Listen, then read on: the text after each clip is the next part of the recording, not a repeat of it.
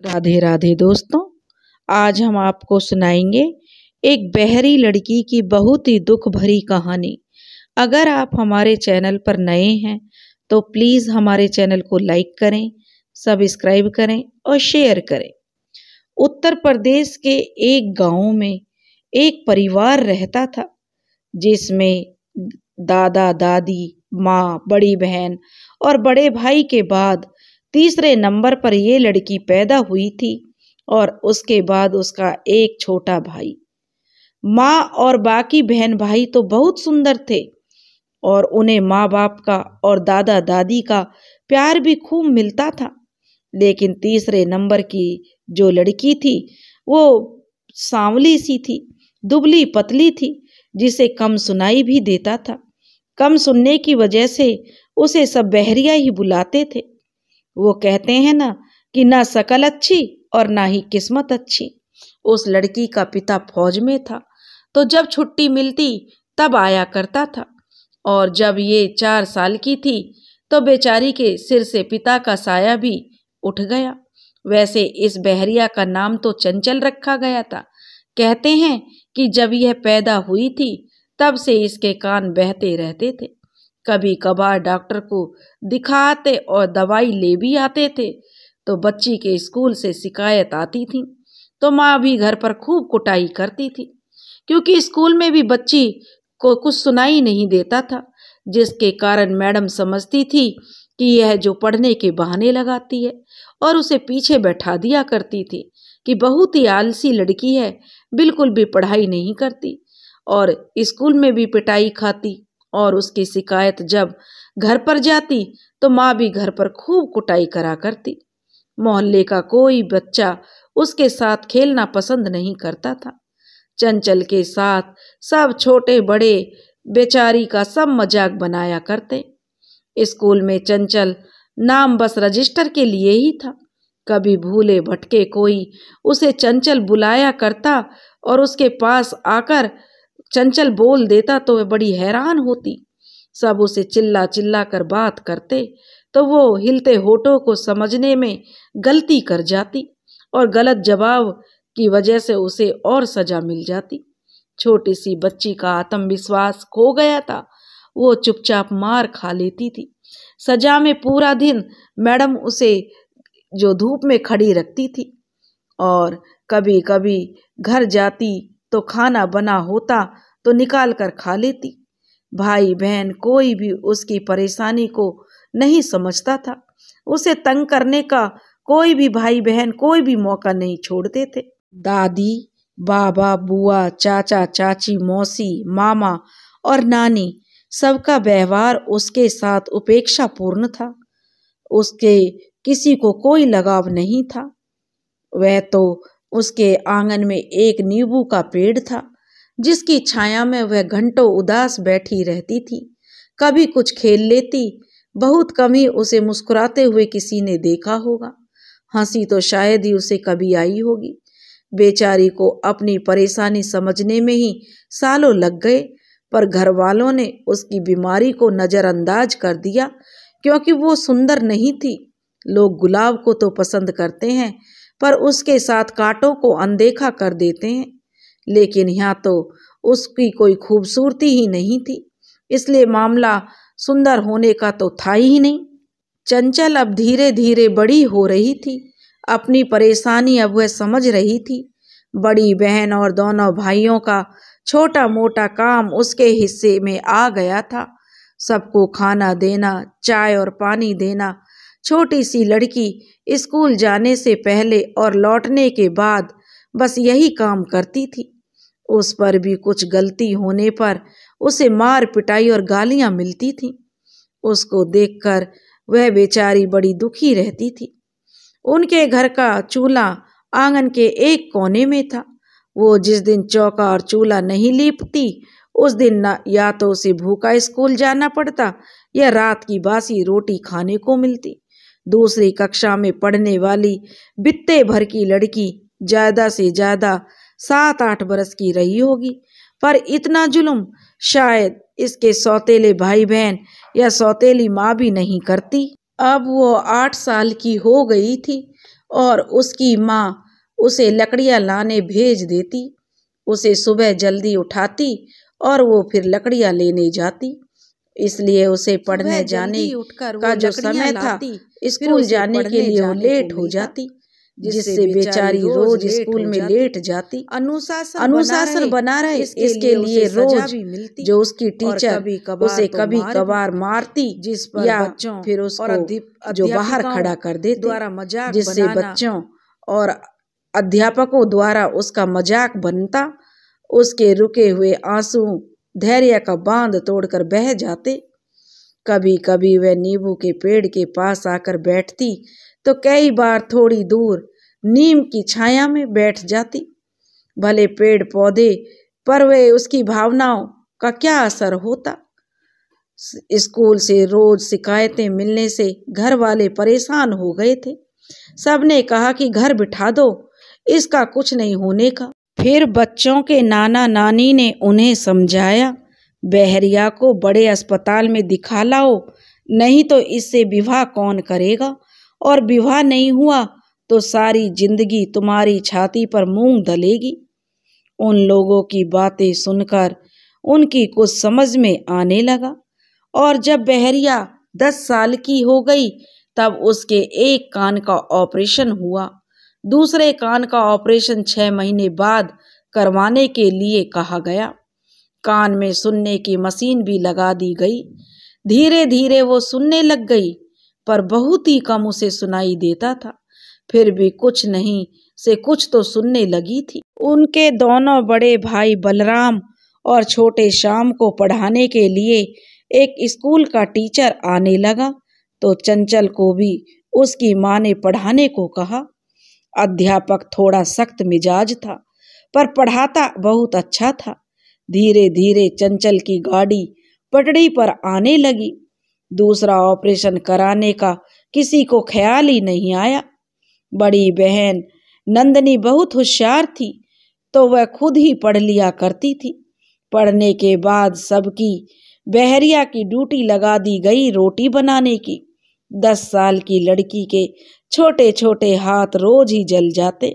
तो वो रोती तो माँ कहती, पता नहीं कौन से पाप किए थे जो तुझ जैसी बेटी को जना। तुझे मेरी बेटी बनाकर भेज दिया भगवान ने। मन तो करता है कि तुझे काट के नदिया में बहा दूँ। डॉक्टर ने मना किया था कि लड़की को तेज आवाजों और शोर से बचा कर रखना।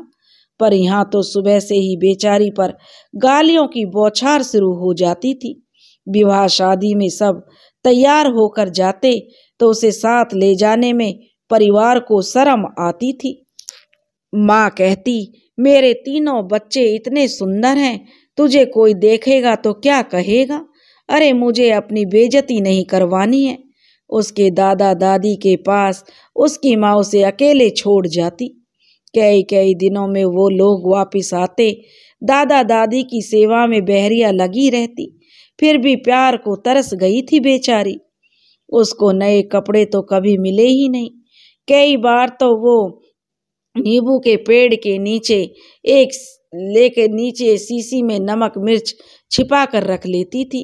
जब उसे नमक और प्याज के साथ रोटी मिलती तो वह चुपचाप रोटी खा लेती थी। उसने नीम के पेड़ के नीचे नीम से भी बतलाया करती, हम दोनों पेड़ उसकी बातें सुनते और उसका मन किसी को गले लगने का होता तो जितना उसके हाथ फैलते, उतना ही वह उन पेड़ों की जो कौली भर लेती। पेड़ सूख जाते थे, उनकी कदर नहीं होती तो वह ठुंड सा खड़ा रहता है। चंचल के लिए उसका घर ठुंटी तो था। दोपहर बाद जब बच्चे इकट्ठे होकर कोई ना कोई खेल खेलते तो बुज़ुर्ग गपियाते हुए झुंड में बैठ जाते तो रात के खाने की तैयारी बहरिया माँ के साथ करवा रही होती थी। बड़ी बहन अपने झूठे बर्तन भी उसके आगे सरका कर खड़ी हो जाती थी। रात के बर्तन साफ़ करवा कर ही उसे बिस्तर मिलता था। फिर जब एक घंटा ट्यूशन पढ़ने बैठती, बस वहीं आराम था उस बच्ची के लिए। चंचल की पढ़ाई तो फिर भी ठीक चल निकली। स्कूल में हमेशा घबराई सी रहती थी। वो अब किसी के साथ खेलने की या बात करने की कोशिश नहीं करती थी। चुपचाप एक कोना पकड़कर बैठ जाती। कोई एक लड़की नहीं थी जो उससे बात करने के लिए या उसके साथ खेलने के लिए तैयार हो। सोच सोच कर मन भर आता था उसका। बस्ते को पीठ पर लटकाए नीचे देखते हुए चुपचाप स्कूल से घर और घर से स्कूल जाती। कई बार सामने से किसी से टकरा जाती और गाली खाकर चल देती। कभी कभी तो लगता कि अच्छा है यह सुन नहीं सकती। एक दिन स्कूल में कोई सवाल टीचर ने ब्लैक बोर्ड पर लिखकर हल करने को कहा तो चंचल ने हाथ ऊपर किया। वो जवाब जानती थी, इसलिए उसके चेहरे पर आत्मविश्वास था। टीचर ने देखा तो उसे बुलाया और उसने सही जवाब लिखा। तब भी टीचर ने उसे नाम से ना बुलाकर कहा, बहरिया, तू तो होशियार हो गई है रे, शाबाश। टीचर ने सबको ताली बजाने को भी कहा। सब बच्चे तालियाँ बजा रहे थे तो उसे बहुत अच्छा लगा। भले ही सुनता कम था, पर समझती सब थी कि अपने टीचर के चेहरे का भाव भी वह समझ रही थी कि उसकी टीचर आज उससे खुश है। तभी सब बच्चे तालियाँ बजा रहे हैं। उस दिन उसने देखा तो उसी खुशी की जो सीमा नहीं थी। वह दौड़कर जो अपने पेड़ के पास आई और दोनों हाथों से उस पेड़ को पकड़ लिया और अपनी सारी बातें उस नींबू के पेड़ को बताने लगी और कहने लगी, आज मैं बहुत खुश हूँ कि मैं आज जो स्कूल में मैंने एक सवाल हल किया है। वो झटपट मुँह हाथ धोकर माँ से खाना मांगने लगी। माँ ने कहा, दाल रखी है, जाकर अपने लिए रोटी सेक ले और पाँच छह ज़्यादा ही रोटी सेक कर रख देना। तेरे भाई आएगा तो वह भी खा जाएगा। बेचारी की आधी भूख तो वैसे ही मर गई होगी। कम से कम उसे तो यही लगा था कि माँ रोटी बना कर रखेगी, लेकिन उसने चूल्हा जलाया, फिर रोटी बनाई और उसकी बड़ी बहन और बड़े भाई का दोपहर का स्कूल था। तो वे खाकर जाते थे। दूसरी तरफ़ उसके पड़ोस में एक परिवार रहता था, जहाँ माँ अपने बच्चों को गर्म खाना खिलाकर ही खुद खाती और उसे लगता कि हर घर में यही होता होगा। चंचल अपनी किस्मत मानकर यही कहती कि भगवान ने सारे दुख उसके ही हिस्से में डाले हैं। एक दिन वो बड़ी तेज़ी से घर के अंदर चली आई। क्या हुआ बहरिया? क्यों आंधी तूफ़ान सी चली आ रही है री? उसकी दादी चिल्लाती हुई कहने लगी। तो वह मुँह धोकर कपड़े भी बदल आई थी। माँ से खाना लेकर वो खाने बैठ गई। वो डर से शायद काँप रही थी। तभी उसकी माँ चिल्लाई होगी, क्या कांड करके आई है री तू, जो तुझे कंपन चढ़ी है? शायद वो कोई जवाब नहीं दे पाई थी। तभी उसकी माँ तेज दहाड़ी, मुँह में दही जमा है क्या करम जली क्या हुआ बताती है या गर्म चिमटा दागू तेरी जवान पर? उसका कमज़ोर कान इतना शोर बर्दाश्त नहीं कर पाता होगा। उसकी आँखों के आगे, उसके सहमे से कदम घर की ओर बढ़ते हुए आ गए और एक अजीब सी सिरहन उसे हो रही थी।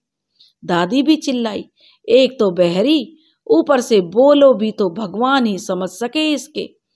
उसे भूख लगी थी और वो सबकी बातें सुन रही थी। माँ का ध्यान उसके चेहरे पर गया तो वो सकल से ही भूखी दिखी होगी। तभी तो आवाज़ सुनाई दी, पहले तू रोटी खा ले, बाद में तेरी खबर लेती हूँ। और एक सगुन सा भर गया था उसको। लगा माँ के दिल में कुछ तो दया आई है। खाना खाकर जब बहरिया उठी तो माँ को अपनी बेटी का डर समझ आ गया। उसे अपने कमरे में ले गई और उसे सब समझाया। शायद उस दिन उसकी बहन ने भी प्यार से बात की थी। तभी तो वो अपनी बहन के साथ अपने गालों पर आंसुओं से बनी लकीरें पहुँचती हुई बाहर निकली थी। लड़की बड़ी हो गई है, ये समझा। अगले दिन फ्रॉक की जगह जब सलवार कमीज पहनकर बहरिया स्कूल जा रही थी, दो चार दिन उसके घर से उस पर चिल्लाने की आवाज़ें कम आई। तो लड़की के बुरे दिन बीत गए। ऐसा ही लड़की सोचने लगी।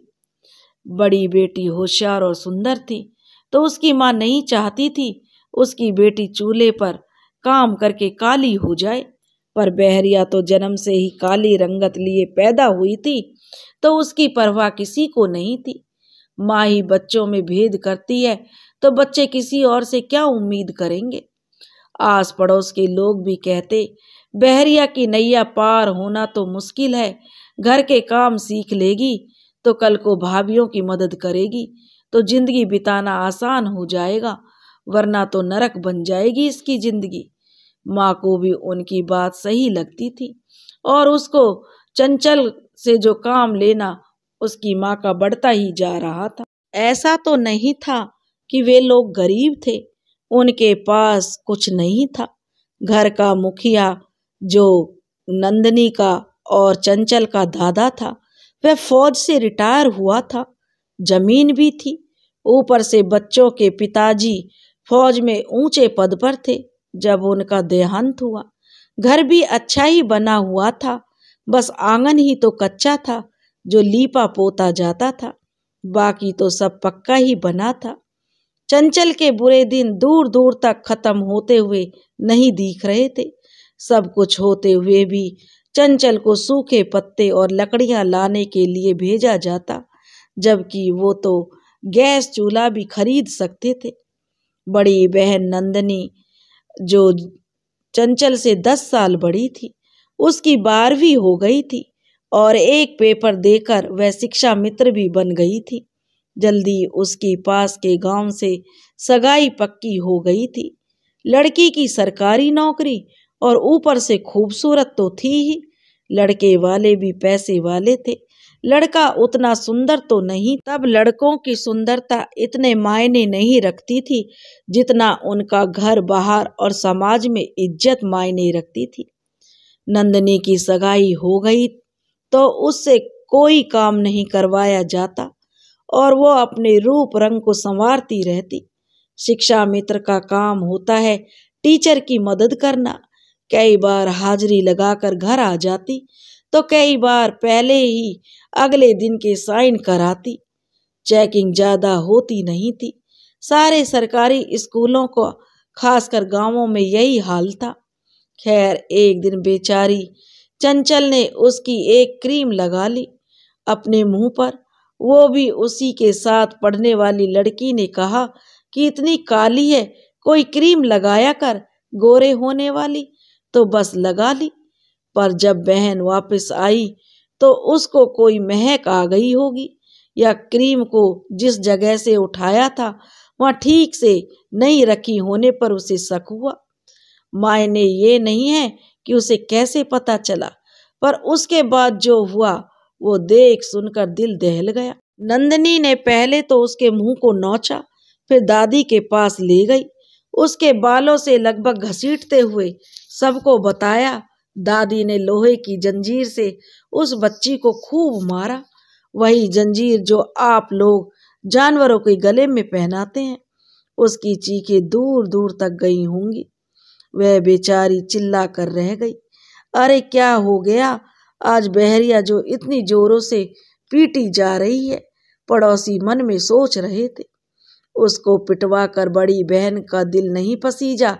दादी पूरा हफ़्ता उसे सारा दिन खेतों में काम करने और स्कूल नहीं जाने का फरमान सुना दिया था। बेचारी मार की सजा से झुलस कर रह गई थी और दादी ने इतनी निर्दयता से उसे मारा था कि कोई जानवरों को भी ना मारे। फिर उसकी माँ कहने लगी, दादी को तो अपने पोते पोतियों से खूब प्यार होता है, जो चंचल ने कोई ना कोई गलती की होगी। फिर चंचल की माँ ने अपनी सास की हाँ में हाँ मिलाई। बहन की शादी हो गई और वो पराए घर चली गई। तो चंचल बहुत खुश थी। कम से कम एक लड़की की दुश्मन तो कम हो गई। चंचल जब आठवीं में थी तब तक ट्यूशन टीचर आता रहा था और बाद में खुद ही पढ़ लेती थी। अच्छे नंबरों से पास हो रही थी तो एक दो सहेलियाँ भी बन गई। हालाँकि मज़ाक उड़ाने में वो सहेलियाँ भी पीछे नहीं रहती थीं। फिर भी स्कूल से घर और घर से स्कूल अकेले नहीं आती थी। दसवीं में जाते ही चंचल स्कूल में दूसरे नंबर पर आई। उसकी खुशी में शामिल होने वाले उसके दो पेड़ थे, नीम और नींबू का पेड़। फिर उसके गणपति जी भी थे। अब वो सीख गई थी कि सब कुछ हँसते हुए सहना। कोई कुछ भी कहता वो मुस्कुराती रहती। मुस्कुराने पर भी पीट दी जाती। तब वह रोती नहीं थी। शायद रो रो कर वो थक गई थी। बड़ा भाई कुछ कहे तो समझ भी आए, पर छोटा भी जब तब उस पर हाथ उठा देता था। बेटी की शादी कर माँ ने चूल्हे चौके से सन्यासी ले लिया था। स्कूल जाने से पहले और आने के बाद घर के सब काम चंचल के हिस्से में थे। किसी को चाय तो किसी को पानी देना। किसी को कुछ देने के चक्कर में अक्सर उससे गलती हो जाती। मज़ाक तो सब बनाना नहीं भूलते, पर यह भूल जाते कि वो जल्दी जल्दी बोली गई बात नहीं समझती। बस हाथ उठाने को सब तैयार रहते। घर का दा, जो मुखिया था उसका दादा, वो हुक्का गुड़गुड़ाता रहता। और आसपास की पंचायती तो करता, पर अपने घर में एक निर्दोष बच्ची पर होने वाला अन्याय वह रोक नहीं पाया, पर साथ ज़रूर दिया। गालियों से नवाजा जाता था उसे। ऐसा कौन दादा होता है जो अपने खून को, वो भी लड़की जात को गाली दे? पर इस घर में तो होता ही था, जो कि रोज का काम था। बड़ी बहन आती तो हालात और बिगड़ जाते चंचल के लिए, लेकिन वो हंसकर सब सह जाती।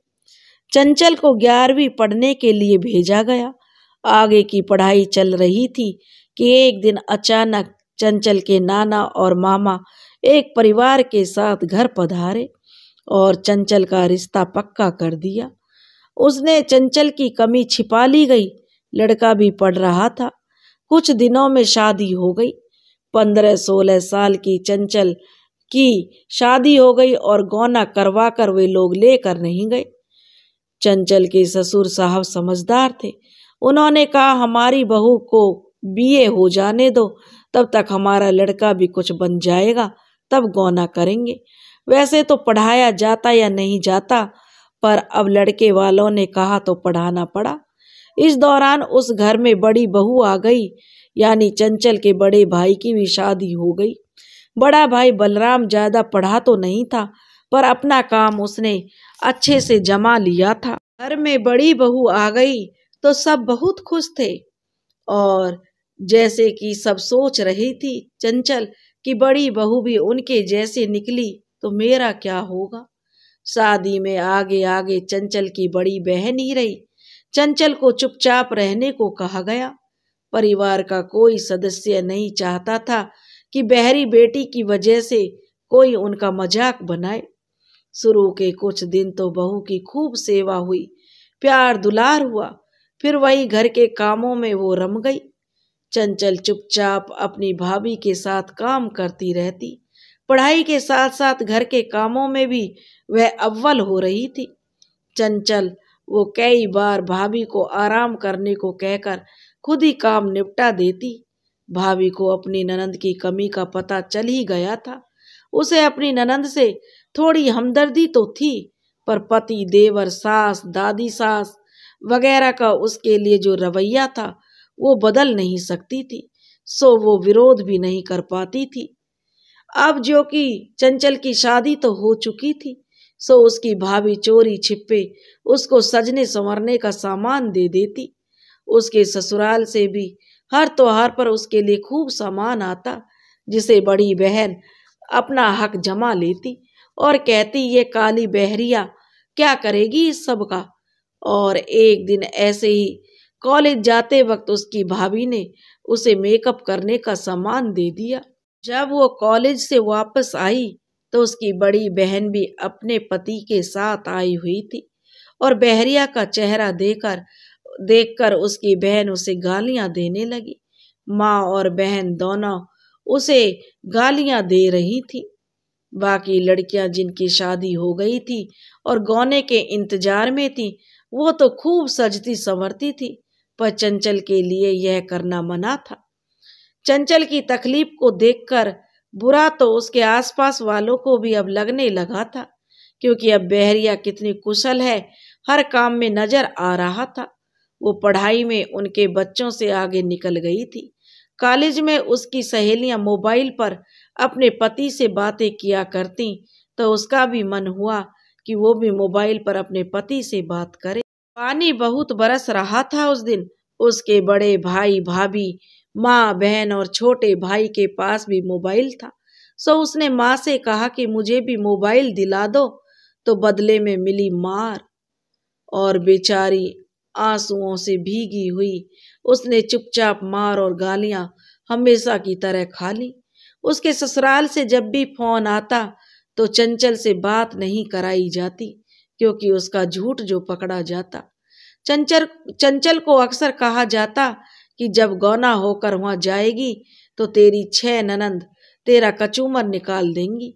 जब पता चलेगा कि तू बहरी है, और अगर वो तुझे निकाल फेंके तो किसी नदी या कुएँ में कूद जाना, पर यहाँ वापस मत आना। नतीजा यह हुआ, साल भर रह गया था उसकी विदाई में, और वो डर में जी रही थी। उसके परिवार ने जो झूठ बोला है, वो सबके सामने आएगा तो क्या होगा? बस इन्हीं बातों से उसको इतना तोड़ दिया कि उसने अपनी जान लेने की कोशिश की तो वो कई दिन अस्पताल में रही। सब लोग प्यार से बात करते तो उसको सपना सा लगता दो तीन महीने ठीक से बीते, फिर वही सब चालू हो गया। उसी साल उसने बीए फ़र्स्ट डिवीज़न में पास किया तो खुशी का माहौल बन गया। आखिर परिवार खुश हो ही गया। विदाई का दिन भी नज़दीक आ गया था, और वो अपने उन्हीं पेड़ों के साथ बातें करके अपने आप को हल्का महसूस करती थी। वो बेहद डर के साय में जी रही थी विदा होने से एक दिन पहले एक कपड़े में वो अपने पेड़ के कुछ पत्ते तोड़ ले गई और उन पत्तों के साथ ससुराल ले गई। दहेज में सभी ज़रूरी चीज़ें दी गई। विदा कराकर उसके ससुर पहले उसे अपने गाँव लेकर आए। चंचल के ससुराल में ससुर के सब भाई मिलकर एक ही जगह रहते थे। उनके चूल्हे अलग थे, पर आँगन एक ही था। चंचल की आँखों में डर साफ़ देखा जा रहा था। सब लोग कुछ ना कुछ बोलते चले जा रहे थे। चंचल को कुछ समझ नहीं आ रहा था। उसे कुछ रस्में करवाकर कमरे में भेज दिया गया। वो चुपचाप डर से गठड़ी बनी हुई बैठी थी। उसका पति आया। कुछ साल पहले तो वह बहुत सांवला सा था, पर अब तो रंग साफ़ लग रहा था। वो बहुत देर तक बोलता रहा। और चंचल उसकी बात समझ नहीं पा रही थी। सो चुपचाप सुनती रही। वो उसके बारे में उसके शौक, उसके पसंद के रंग पूछ रहा था। वो सुन नहीं पाई। एक नया सा रिश्ता जिसकी जानकारी बड़ी बहन या भाभी को देनी चाहिए थी। किसी ने कुछ नहीं समझाया, नहीं तो नतीजा क्या निकलता? पति को लगा कि जो चंचल ये रिश्ता बनाना नहीं चाहती सो अगले ही दिन वो नाराज़ होकर शहर चला गया, वापस अपनी नौकरी पर। शादी के दो दिन बाद उसकी दो शादीशुदा ननंदे वापस चली गई। चंचल को सारा दिन कोई ना कोई कुछ कहता रहता और वो ठीक से ना सुन पाने की वजह से चुप ही रहती। तो कई बड़ी बूढ़ी औरतें उससे नाराज़ हो गईं। ससुर जी में भी धैर्य था। उन्होंने अपनी एक बेटी और बेटे के साथ चंचल को शहर भेज दिया। उसके पति के पास कुछ दिन बाद सास ससुर भी आ गए झूठा ज़्यादा दिन तो चलता नहीं। वे लोग चंचल से मांगते कुछ, वो कुछ और दे देती। सास तो सास होती है। जब माँ अपनी नहीं हुई तो सास तो फिर भी पराई थी। ताने और तिरस्कार सब यहाँ भी उसे मिलता रहा। ससुर जी अपने समधियों से नाराज़ थे, पर वो चंचल को कुछ नहीं कहकर उसका दाखिला बीएड में करवा दे। जो चंचल के ससुराल में सब लोग बहुत पढ़े लिखे थे। यह बात तो चंचल को यहाँ आकर पता चली थी। मायके की मार और गालियों से तो वो निकल आई थी, पर ससुराल में मिलने वाले तानों से बच पाना नामुमकिन काम था। एक बात तो अच्छी हुई थी, वो ये कि ससुर जी जो थे उसके, उसमें आत्मविश्वास उन्होंने भर दिया था। वो अपनी कमी को दूर नहीं कर सकती थी, पर सबकी पसंद नास नापसंद जानकर सब काम समय पर करती रहती। कोई कुछ भी कहता तो वो हंस देती। धीरे धीरे उसके पति का मन बदल रहा था। वो चंचल की तकलीफ़ को समझने लगा। बातें लिखकर होने लगी, मोबाइल पर संदेश होने लगे तो कुछ बेहतर हो रहा था। उसका पति उसे बहुत बड़े डॉक्टर के पास ले गया। तो डॉक्टर ने बताया कि ज़्यादा कुछ तो नहीं किया जा सकता, क्योंकि जिस कान का ऑपरेशन रह गया था, अगर समय से उसका ऑपरेशन हो जाता तो सुधार संभव था। अब उस कान की हड्डी गल चुकी थी कि ऑपरेशन से तो हो ही नहीं सकता, साथ ही कान की मशीन भी इस्तेमाल नहीं किया जा सकता। धीरे धीरे ही सही, पर चंचल और उसके पति में नज़दीकियाँ बढ़ रही थी। एक बार संकोच खत्म हुआ तो चंचल ने अपने पति पर विश्वास करके उसे घर और परिवार की सब बातें बतला दी। अपनी आप बीती सुनाकर उसके पति ने उसका हर कदम पर साथ देने का वादा किया। घर में जो भी थोड़ा तनाव था, वो कम होने लगा, पर चंचल की सास ने देखा, उसका बेटा अपनी पत्नी के साथ खुश है तो उन्होंने पूरे दिल से चंचल को अपना लिया। घर का माहौल उसके पति के साथ ने चंचल के मन को और तन के घावों को भर रहे थे। बीएड के बाद चंचल नौकरी तो कर सकती थी, पर उसका पति या घर में किसी को भी कोई ऐतराज नहीं था। पर चंचल को लगता कि उसका कम सुनना और बातों को जल्दी नहीं समझ पाना किसी काम को करने में बाधा बनेंगे ही। सो उसने नौकरी नहीं करने का फैसला किया। उसके फैसले को सबने सम्मान किया। और चंचल भी खुश थी जब वो अपने ससुराल वाले उसके गाँव, अपने गाँव जाती या रिश्तेदार आते तो बातों ही बातों में उसे सुना जाते। पर चंचल अनसुना करके अपने रिश्तेदारों की खातिरदारी में लगी रहती। उसका पति कॉलेज में प्रोफेसर था और घर के लोग कोशिश करते कि सब चंचल से बात करें तो बहुत जल्दी जल्दी ना बोलें, जिससे वो बात को ठीक से समझ सके। घर में तेज आवाज़ में कोई टीवी नहीं चलाता था और ना ही तेज आवाज़ में बोला जाता था। सास ससुर आते जाते रहते। एक ननंद और देवर उसके पास ही रहते थे, क्योंकि दोनों ही पढ़ रहे थे। कभी कभार उसका पति अपने साथ चंचल को उसके मायके मिलाकर लाते, पर अकेले वहाँ छोड़कर नहीं आता।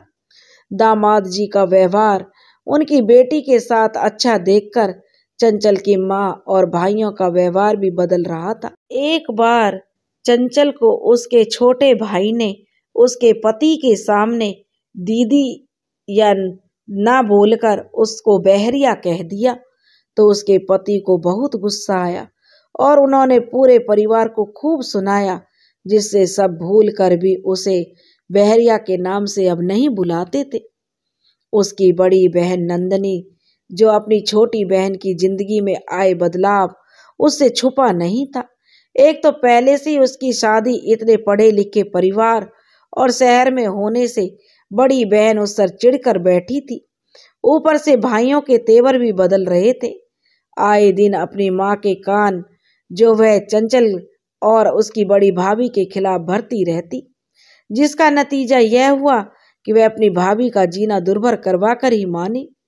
इधर चंचल को पता चला कि वो माँ बनने वाली है तो उसका पति और परिवार के सब लोग बेसब्री से आने वाले नन्हे मेहमान का इंतज़ार करने लगे और चंचल अब खुद एक छोटे से बच्चे की माँ बनने वाली थी। उधर चंचल के छोटे भाई की शादी पक्की हो गई थी।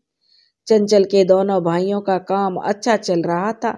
तो घर में सभी सुविधाएँ और बड़ी कार सब कुछ था तो रिश्ता भी संपन्न परिवार में हुआ था। चंचल इस शादी में शामिल नहीं हो पाई। फिर भी चंचल के कहने पर उसका पति अपने भाई और पिताजी के साथ शादी में शामिल होने के लिए आए। चंचल का मन अंदर से बहुत डरा हुआ था।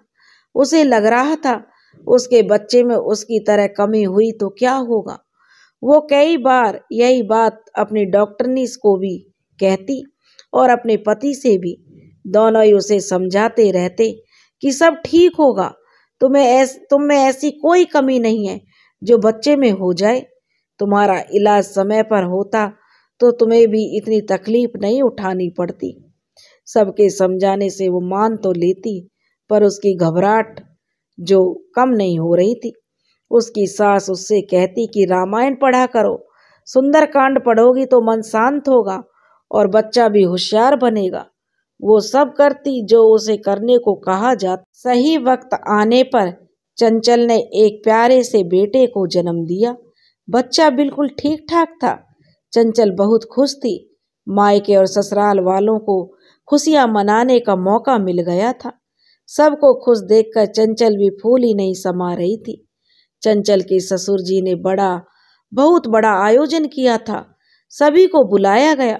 ज्योति के भाइयों ने कोई कमी नहीं छोड़ी। उसका पति कॉलेज से आते ही बच्चे के आसपास ही रहता। सवा महीने बाद चंचल का भाई उसे और अपने भांजे को लेने आ गया। चंचल का पति नहीं चाहता था कि चंचल वहाँ ज़्यादा दिन के लिए जाए। क्योंकि चंचल का कहाँ मन करता था कि वह वहाँ जाए, पर इस बार उसका मन भी कर रहा था अपने मायके जाने का। आखिर उसके भी तो एक भतीजी और भतीजा है, सो वो खुशी खुशी भाई के साथ मायके चली गई। और उसके चेहरे की चमक बहुत कुछ कह रही थी मायके में, क्योंकि वह बहुत ही संतुष्ट थी उसके भविष्य के लिए। जो चंचल घर आई तो खुशी खुशी थी, पर घर का माहौल वही पहले वाला मतलब तनाव वाला लग रहा था। अकेला मौका पाते ही उसने अपनी भाभी से पूछा तो वो रो दी। उसने बताया कि जो उसकी बड़ी ननंद, नंदनी है, वह हर वक्त जो उसकी माँ को उनकी बहुओं के खिलाफ भड़काती रहती है तो माँ घर में कलेश करती रहती है। छोटी वाली एक हफ़्ता यहाँ रहती है और एक महीना मायके तो चंचल का मन दुखी हो गया। चंचल कहानी को, चंचल की कहानी को दोहराया जाना देख रही थी। बड़ी भाभी की बात बात पर ताने और गालियाँ देना माँ को खुशी देता था। माँ का व्यवहार ज़्यादा अच्छा तो चंचल के साथ भी नहीं था। वो तो कहती कि तू अपनी भाभी को हमारे खिलाफ कान भरती है। चंचल की माए के आने की खुशी काफूर हो गई थी। उसके भतीजा और एक छोटी सी भतीजी हर वक्त डरे डरे रहते थे। चंचल की माँ को अपने पोते पोती भी अच्छे नहीं लगते थे। बड़ा भाई सब देख सुनकर चुप ही रहता था। माँ से अलग होकर वो नहीं रह सकता था। चंचल का दम घुट रहा था। मायके में बाकी की कसर उसकी बड़ी बहन ने आकर पूरी कर दी थी। वही पुरानी बातें गालियाँ और मज़ाक उड़ाना और ताने देना उसकी जलन दिखा रहा था। उसे उम्मीद नहीं थी कि चंचल के दिन फिर जाएँगे, जो उससे बर्दाश्त नहीं हो रहा था। यह बात चंचल की सम, भी समझ गई थी। एक हफ़्ते बाद ही चंचल का पति का मैसेज करके कह दिया कि मुझे यहाँ से लेकर चले जाओ, और वो दो दिन बाद किसी और कुछ, किसी को कुछ भी बताए, उसका पति उसे लेने आ गया। चंचल अपनी तैयारी उसने पूरी कर रखी थी। चंचल अपने घर आ गई। घर आकर उसने चैन की सांस ली। उसके पति ने अपने पिताजी के साथ मिलकर सब भाई बहनों को अच्छे से पढ़ा लिखा कर सबकी शादी करवा कर अपनी ज़िम्मेदारी पूरी कर चुका था। उसके पिताजी अब रिटायर हो गए थे। वो उन्हें अपने पास ले आया। छोटे बच्चे, जो बच्चा था, वह उसका नाम शुभम था। वो दादा दादी का उसे भरपूर प्यार मिल रहा था। चंचल का पति चाहता था कि चंचल भी अपनी कमी को भूलकर किसी काम में लग जाए तो अच्छा है। चंचल की कंप्यूटर सीखने का मन था तो उसको उसका एडमिशन एक कोचिंग सेंटर में करवा दिया गया। सबसे अच्छी बात तो यह थी कि चंचल की परेशानी को समझकर उसकी मदद सब कर रहे थे। चंचल ने एक बार फिर बाहर की दुनिया में कदम रखा था। वो डरी हुई नहीं थी। अपनी कमी को कहने में संकोच नहीं हो रहा था। वो यह सब उसके पति के प्यार की वजह से हो पाया था। चंचल ने अब कंप्यूटर सीख लिया था। वो बहुत खुश थी। अपने मन की इच्छा को पूरी करके उसके पति ने उसके लिए कोई ना कोई किताब ले आता, जिससे खाली वक्त में वो बेकार कुछ ना सोचकर अपना साहित्य पढ़े। उसका बेटा सारा दिन अपने दादा दादी के साथ ही खेलता और खाता तो वो निश्चिंत ही रहती। शुभम उसके बेटे का नाम था, जो तीन साल का हो चुका था और वह फिर से एक बार माँ बनने वाली थी। उसकी पति की इच्छा थी कि एक बेटी और हो जाए तो परिवार पूरा हो जाए। सास ससुर का तो मानना था, जो भी बच्चा हो वो स्वस्थ और तंदुरुस्त हो। चंचल फिर घबरा रही थी। उसकी उसको इसकी चिंता नहीं थी कि बेटी होगी या बेटा, उसको तो बस फिर वही चिंता सता रही थी, आने वाले बच्चे में कोई कमी ना हो। इस बार पूरे समय चंचल की तबीयत ठीक नहीं रही, सास बहुत ध्यान रखती, पर बीमार हो ही जाती। सासू माँ रोज ही नज़र उतारा करती, सभी उसका ख्याल रख रहे थे, पर न जाने क्यों उसका मन ठीक नहीं रहता था। उसके पति और उसके ससुर ने कहा, अगर बहू का मन या नहीं लग रहा है तो बहू से पूछ लो कहीं मायके जाने को तो मन नहीं कर रहा है। तो चंचल के पति ने चंचल से पूछा, तुम्हें अपने मायके जाने का मन है तो छोड़ आता हूँ। चंचल घबरा कर बोली, नहीं नहीं, मुझे नहीं जाना है मायके किसी ने मुझे कुछ, मुझे या मेरे बच्चे को कुछ कर दिया तो उसका पति उसकी बात सुनकर हैरान हो गया। उसने बहुत प्यार से पूछा, चंचल, क्या बात है? तुम इतना परेशान क्यों रहती हो? कोई बात है तो मुझे बताओ, मैं हूँ ना तुम्हारे साथ? चंचल ने हिम्मत जुटाकर कहा, बड़ी दीदी और माँ दोनों भाभियों को बहुत परेशान करती हैं, क्योंकि वो मेरे साथ अच्छी तरह बातें करती हैं और बड़ी दीदी के गुस्से की वजह से वो उनसे बात नहीं करती। घर में रोज कलेश रहने लगा है तो छोटी भाभी हमेशा के लिए अपने मायके चली गई है। उसके पति ने उसकी बात ध्यान से सुनी, फिर बोला, यह सब तुम अपने अंदर समेटी हो, पहले ही बता देती तो तुम्हारी छोटी भाभी आ जाएँगी वापस, तुम परेशान ना हो।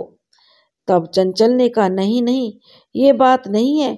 वहाँ घर में जब से मेरी माँ और दीदी को पता चला है कि मैं फिर से माँ बनने वाली हूँ तो दीदी गुस्से में कह रही थी कि बहरिया को मैं सुख से नहीं रहने दूँगी, जहर देकर मार दूँगी उसे और उसके बच्चे को। मुझे ये बात बड़ी भाभी ने बताई थी और कहा था कि यहाँ मत आना तुम। अब आप बताओ, क्या मैं गलती कर रही हूँ? क्या गलती है मेरी जो मेरे लिए ऐसा बोल रही है? उसके पति ने उसकी बात सुनकर बड़ा हैरान रह गया। कोई माँ बहन अपने ही खून से इतनी नफरत कैसे कर सकते हैं? बस, वह हैरान था, क्योंकि वह कहने लगा, उसने बड़े प्यार से चंचल को समझाया कि तुम बेकार की चिंता मत करो, यहाँ ना तो तुम्हारी बहन है और ना ही तुम्हारी माँ। मेरे होते हुए तुम्हारे और हमारे बच्चों को कोई नुकसान नहीं पहुँचा सकता। बस तुम खुश रहो। आज के बाद तुम वो सब ना सोचकर अच्छा पढ़ने में ध्यान दोगी तो ना ही तुम्हें मायके की याद आएगी और ना ही तुम्हें मैं मायके में अकेले रहने दूँगा। अपने पति के आश्वासन, जो पति का आश्वासन काम कर गया, उसके पति ने अपनी माँ पिता को समझा दिया कि जो चंचल को मायके नहीं जाना है और अब उसे अकेले रहने को कभी नहीं भेजना है, चाहे कुछ भी हो जाए, चंचल की तबीयत संभलने लगी। वो अपने आप को घर के काम में लगाए रखती फिर सास के पास बैठ जाती और उससे कुछ ना कुछ बताती रहती। अपने पूरे टाइम पर चंचल ने एक सुंदर सी बिटिया को जन्म दिया। उसका पति तो मन की मुराद पूरी हो गई थी उसकी और दादा दादी भी बहुत खुश थे कि उनके घर में जो एक लक्ष्मी ने जन्म लिया है। दादा दादी, चाचा चाची, बुआएँ और उनके सब बच्चे खुश थे। उसके ससुर ने चंचल के मायके में भी फ़ोन करके बता दिया था कि बेटी हुई है और बड़ी सुंदर है। शुभम बहुत खुश था क्योंकि दादा दादी ने बताया शुभम बड़ा भाई जो बन गया है। वो अपनी बहन का ध्यान रखा करेगा। भी फ़ोन बस फिर क्या था? दिया किसी को भी बच्ची को गोद में नहीं उठाने देता। और उसकी हमेशा उसके पास ही बैठा रहता। का भी मन वो कुछ ही दिन में बड़े भाई की तरह जो व्यवहार करने लगा था। चुपचाप बैठकर खाना खा लेता। किसी बात की जिद नहीं करता। ना ही ज़्यादा शोर मचाता। दादा दादी ने पहले ही उसे सिखा दिया था।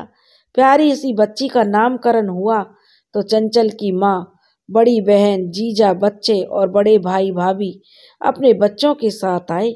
वापस जाने से पहले वो चंचल की सास से पूछ रहे थे कि वो चंचल को लेने कब आए? तो चंचल के ससुर जी ने कहा, चंचल और उसके स्वराज इकट्ठे ही आएँगे। दोनों पति पत्नी हैं। और एक दिन रुककर वापस आ जाएँगे। शुभम को स्कूल में अभी अभी डाला है तो उसकी आदत बनी रहनी चाहिए। भाई साहब, आपकी बात तो ठीक है, पर चंचल कुछ दिन मायके में रह लेगी तो उसका मन बहल जाएगा। चंचल की माँ ने कहा तो चंचल के ससुर जी खुद जवाब देना सही नहीं समझकर उन्होंने स्वराज को, चंचल के पति को बुला लिया और उनसे बात करने के लिए कहा। चंचल की बहन ने स्वराज से बात की और कहा कि उसकी माँ ने कहा था। पर स्वराज बोला, चंचल और बच्चों के बिना हम सबका मन नहीं लगता, इसलिए हम दोनों साथ आएँगे। आप सबसे मिलने के लिए एक दो दिन ज़रूर रुक लेंगे हम, उससे ज़्यादा नहीं रुका जाएगा। दामाद के मना करने के बाद भी वे लोग कुछ नहीं कह पाए, पर जो उसकी बहन थी उसको खूब जलन हो रही थी, क्योंकि उसका पति तो कभी मना ही नहीं करता और जब तब आ जाती है। सरकारी नौकरी में कोई जाँच तो होती नहीं है, सो बस आ जाती है मायके में वहाँ पूरे ठाठ से रहने के लिए। बड़ी बहन नंदनी को उसकी खुशियाँ बर्दाश्त नहीं हो रही थी तो इसका मतलब ये बिल्कुल नहीं था कि चंचल खुश रहना छोड़ दे। पहले की बात अलग थी, पर अब तो उसका पति उसके साथ था। वो धीरे धीरे अपने परिवार में ही रम गई। उसने कभी भी नहीं कहा कि उसे मायके जाना है। चंचल, अपने बेटे शुभम और बेटी सुहानी और पति स्वराज और अपने सास ससुर के साथ बहुत खुश रहती थी। ननदे वगैरह भी बीच बीच में आती रहती। चंचल सबका बहुत सम्मान करती थी तो सब खुश होते और चंचल का आदर बढ़ रहा था। अपने ससुराल में सुबह में स्कूल जाने लगा था। और सुहानी माँ से ज़्यादा दादा दादी के साथ ही चिपकी रहती थी। चंचल कुछ काम करना चाहती थी। कोई ऐसा काम जिससे उसकी कमी की वजह से कोई दिक्कत ना आए। उसका पति भी उसकी मन की बात को समझता था। बस वो समझ नहीं पा रहा था कि ऐसा कौन सा काम वो चंचल को बताए जिससे वो घर पर रहकर ही कोई काम करे और खुश रहे। एक दिन चंचल का पति कॉलेज से वापस आया तो उसने देखा चंचल कोई खिलौना बना रही है। उसने चंचल को कहा कि इतनी मेहनत क्यों कर रही है?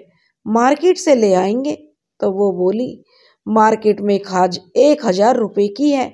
मैं इसे दो सौ, तीन सौ में बना सकती हूँ। उसके पति ने कहा, ठीक है, पर देखना कि बाज़ार जैसी बने, नहीं तो मेरी प्यारी बिटिया इसके साथ नहीं खेलेगी। पति की बात सुनकर चंचल मुस्कुरा दी। अगले दिन उसका पति घर आया तो अपनी बेटी को, अपनी गुड़िया के साथ उसकी बेटी खेल रही थी। क्या बात है? फिर ले आई तुम बाज़ार से एक हज़ार रुपए की गुड़िया। बेटे की बात सुनकर चंचल के ससुर बोले, नहीं बेटा, यह तो इसकी माँ ने बनाई है। चंचल का पति गुड़िया देखकर हैरान हो गया। बहुत सफ़ाई से जो चंचल ने गुड़िया बनाई थी। चंचल, तुमने तो कमाल कर दिया। चलो मेरे साथ अभी बाज़ार चलो और जो भी सामान तुम्हें चाहिए वो लेकर आते हैं और तुम और भी खिलौने बनाओ। अपने पति की बात सुनकर चंचल मुस्कुरा दी और कहने लगी, हम संडे को चलेंगे, तब तक मैं लिस्ट भी बना लूँगी। चंचल वो सब अपनी बेटी के लिए जुटाना चाहती थी, जिनसे वो खुद बचपन में खेलना चाहती थी। बच्चों और घर के कामों से जब भी थोड़ा बहुत वक्त मिलता वो कुछ ना कुछ बनाने लगती। सास ससुर भी उसकी जितनी हो सकती थी मदद करते। आसपास के बच्चों वगैरह के जन्मदिन पर वे बहुत अच्छे अच्छे खिलौने बनाकर उन्हें गिफ्ट देती। सब बहुत खुश होते थे। धीरे धीरे घर और रिश्तेदारों के ही इतने ऑर्डर मिलने लगे कि वो हर वक्त काम में लगी रहती। वो भूल गई थी अपनी सारी तकलीफें, बस खिलौनों में खो गई थी। के पति ने उसको समझाया कि अगर सब तुमसे खिलौनों के पैसे पूछें तो तुम कम से कम अपनी मेहनत और सामान की कीमत तो लिया करो। वे कहती कि ऐसे अच्छा नहीं लगता, पर फिर जो चंचल को उसके ससुर जी ने भी समझाया कि बेटा, इस काम को आगे बढ़ाना है तो तुम इतनी काबिल तो हो तो लोगों के सामने तुम्हारा टैलेंट भी आना चाहिए, और फिर तुम आत्मनिर्भर भी बन जाओगी, और हम सबको भी बहुत खुशी होगी। चंचल को बहुत जल्दी नहीं थी कि कुछ करने के लिए, इसलिए उसने अब तक थोड़ा बहुत किया था। जब तक उसकी बेटी भी अब स्कूल जाने लगी थी, उसके पति ने तब तक किसी से बात कर ली थी। किसी दुकानदार से शायद, और चंचल के खिलौने रखने की, रखने पर जो चंचल ने किसी दुकान पर अपने खिलौने रखने से मना कर दिया। उसे लगता था, इससे खिलौने महँगे हो जाएँगे तो वो सब नहीं खरीद पाएँगे। जो लोग गरीब हैं, इन सालों में चंचल हमेशा अपने पति के साथ ही मायके जाती थी। अगले दिन वापस आ जाती थी। न जाने माँ का स्वभाव बदला और ना ही बहन का। चंचल के काम की तारीफ़ उनके मन की जलन को और भड़का रही थी। बस चंचल के दोनों भाई बहुत खुश थे और उन्हें कहीं ना कहीं उन्होंने चंचल के साथ जो किया था, उसका अफसोस भी था। खैर चंचल की सुखी गृहस्थी देखकर, जो चंचल के मायके वालों को देखकर जितना मन दुखी होता था, अब उतनी ही ज़्यादा खुशी चंचल को अपने ससुराल में होती थी और उसके खूबसूरत परिवार और उसके पति का साथ देना चंचल की ज़िंदगी में खुशियाँ भर गया था। स्वराज और उसके पापा की कोशिशें रंग ज़रूर लाएँगे, इसका स्वराज को पूरा यकीन था। चंचल को बच्चों की चिंता सास के होते हुए तो बिल्कुल नहीं थी। चंचल उनको शाम को पढ़ाती और उनका होमवर्क कराती। अगर चंचल बिज़ी होती, काम में लगी हुई होती तो बच्चों के दादाजी उन्हें पढ़ाने बैठ जाते। कुल मिलाकर आपसी सहयोग से सब काम आराम से हो जाते थे। चित्रा स्वराज के साथ काम करती थी। एक दिन चित्रा अपनी माँ को बड़ी मुश्किल से राज़ी कर पाई थी। स्वराज के घर आने के लिए। स्वराज ने सबसे चित्रा और उसकी मम्मी का परिचय कराया तो चंचल सबके लिए चाय नाश्ता बनाने चली गई और स्वराज ने ही उन्हें चंचल के बनाए हुए खिलौने दिखा दिए। स्वराज के परिवार से मिलकर जो चंचल, चित्रा की माँ थोड़ी सहज हो गई थी और जब उसके पापा ने चंचल के बारे में बताया तो वह अविश्वास से चंचल को मुस्कुराते हुए और चाय सर्व करते हुए देखने लगी। स्वराज ने चित्रा की माँ को कहा, अगर वो कुछ काम करना चाहती हैं तो चित्रा से भी सीख लें। उसकी मदद भी हो जाएगी, बदले में उन्हें सैलरी भी मिलेगी और एक नया हुनर भी सीख जाएँगी। चित्रा और उसकी माँ को स्वराज की बात बहुत अच्छी लगी और वे बहुत खुश हुए। स्वराज सर का सुझाव सुनकर चित्रा की माँ सुनंदा की आँखें तो चमक ही गईं। शायद बीमारी ने उनके ऊपर से विश्वास ही खत्म कर डाला था, तभी तो उसे कोई काम मिल नहीं सकता था। यही सोचकर वह खुशी दिखी और कहने लगी, मुझे कब से आना है सर? सुनंदा ने पूछा, जो चित्रा की माँ थी। तो स्वराज के पापा ने मुस्कुरा कर कहा, आप बेशक कल से आ जाइए। अब वे दोनों माँ बेटी वहाँ से चली गई। सुनंदा बोलकर गई थी कि वो अगले दिन से सुबह दस बजे तक आ जाएगी। दोनों माँ बेटी स्वराज को धन्यवाद बोलकर आभार प्रकट कर रही थी। स्वराज भी खुश था कि चंचल के आसपास लोग आ रहे हैं, तभी तो वह भी सुरक्षित महसूस करेगी। अगर सब आदमी स्वराज की तरह सोचने लग जाएँ तो कोई किसी माँ, बहन, पत्नी या बेटी अपने आप को उपेक्षित नहीं समझेगी। ऐसा सोचना तो लगता है कल्पना से ही संभव है। सच में बहुत गंदला सा है हमारा समाज औरत ही औरत की सबसे बड़ी दुश्मन होती है। आदमियों को सिर्फ़ दोष देना ठीक नहीं है। अगले दिन सुनंदा अपने टाइम पर चंचल के घर पहुँच गई। चंचल ने उसका खुले दिल से स्वागत किया, और उसको अपने साथ लेकर काम करने बैठ गई। कुछ दिनों की भाग दौड़ करके एक छोटी सी दुकान आखिर उन्हें मिली गई। और बाज़ार में उन्होंने अपना काम शुरू कर दिया। स्वराज और उनके पापा ने दुकान फाइनल करके एडवांस भी दे दिया। सबसे अच्छी बात तो यह थी कि उसमें कोई और काम करवाने की ज़रूरत ही नहीं थी। रैक, सोर सौके सब कुछ बना हुआ था। बस एक छोटा सा टेबल और कुर्सी की ज़रूरत थी। दुकान में पेंट वगैरह दुकान मालिक ने करवा दिया था। उदय चंचल के पास सुनंदा के साथ दो तीन औरतों ने भी खिलौने बनाना सीखने में रुचि दिखाई तो चंचल ने हाँ कर दी। सीखते सिखाते चंचल का काम भी हो रहा था। वो किसी को अपना सामान लाने को नहीं कहती, सब कुछ खुद देती, जिससे उसका बिना पैसे खर्च किए सीखना भी हो गया और दुकान के लिए खिलौने भी बन गए। अब बारी थी दुकान का नाम सोचने की और उसमें बाजी मारी बच्चों की दादी ने। उन्होंने कहा कि दुकान का नाम खिलौने वाला होनी चाहिए। तो बस चंचल ने भी कह दिया कि वही नाम रखा जाएगा। एक अच्छा सा दिन देखकर हवन करवाकर दुकान का शुभ मुहूर्त हो गया। चंचल के ससुराल वालों ने सबको बुलाया था। स्वराज और चंचल नहीं चाहते थे कि उसके मायके वाले आए, पर स्वराज ने के जो पापा थे, उनके मायके में उसकी बहन को भी आने के लिए कहा था।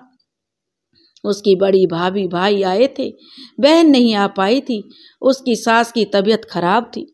चंचल मनी मन खुश थी माँ और बहन के ना आने से। सब कुछ बहुत अच्छे से निपट गया। पहले दिन ठीक अच्छा रिस्पांस मिला उसकी दुकान को। सुवराज बहुत खुश था क्योंकि चंचल खुश थी अपने सपने को साकार होते देखकर। चंचल ने एक कदम रख दिया था बिज़नेस की दुनिया में। सबके साथ में बहुत खुश था। और चंचल ने खिलौनों की कीमत वाजिब रखी थी। फिर उसने एक बोर्ड बनवाया कि ऑर्डर पर स्पेशल खिलौने भी बनाए जाते हैं। बस एक हफ़्ता पहले ऑर्डर देना होगा। जिन औरतों ने यह, उसने यह काम सिखाया था, उन्हें चंचल ने काम भी दे दिया। शुरू शुरू में सब अपने अपने घर ले जाती और बना कर लाती। फिर धीरे धीरे एक जगह किराए पर ले ली। वहीं मशीनें और सामान रख दिया गया और लोग वहीं काम करने लगे। चंचल के पास दिमाग की कमी नहीं थी। उसने ऑनलाइन भी अपने खिलौने बेचने शुरू कर दिए। स्वराज ने अपने बेटे शुभम और बेटी सुहानी को हॉस्टल में डाल दिया, क्योंकि वो चाहता था कि बच्चे अनुशासन में रहना सीखें और बेहतर भविष्य अपना बना सके। इसी बीच चंचल के सास ससुर का देहांत हो गया।